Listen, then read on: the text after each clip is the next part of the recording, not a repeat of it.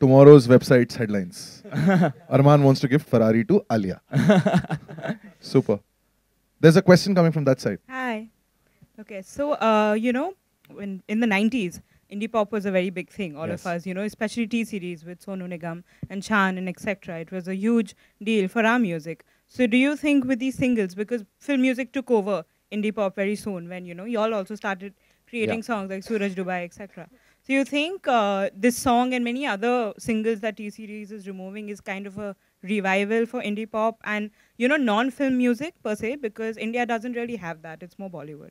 It's very time. important that this movement is taking place because abhi everyone feels that Indian music is only Bollywood. Yeah. But uh, now singers are getting the opportunity to become bigger than uh, what they already are. Hum log, we already are the voice for the actors, but now we're getting a chance to be the face to our own voice and that's what we're trying to achieve with singles like this. And Aaja Na Ferrari Mein is uh, uh, is something that takes that movement of non-film uh, music forward. And I'm really proud that I'm going to be spearheading this movement with Amaal and with all the other composers and singers uh, in our country.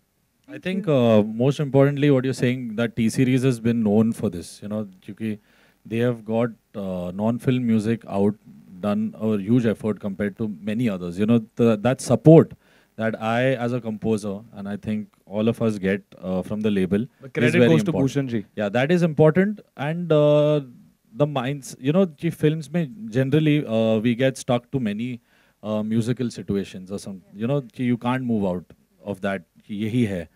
Here, uh, the beautiful thing is that when I make a song and I play to Bhushan sir and uh, he, you can weave a story around a certain song also. You know, maybe work reverse. So that freedom and that creative freedom that which he gives me and Armaan, that's what I think helps us do these things. Because as, you said, Bollywood music is very huge.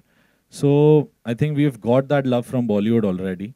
And if we don't use that uh, fan base and that love that we've got to you, you know to bring the real artist out, so then that it'll be a waste. So I think Bollywood has helped us, but uh, it's our duty to stand up for somewhere non-film non-film music gives us the freedom to do what is in our heart as a musician or as a singer. So we're glad that something like this has come out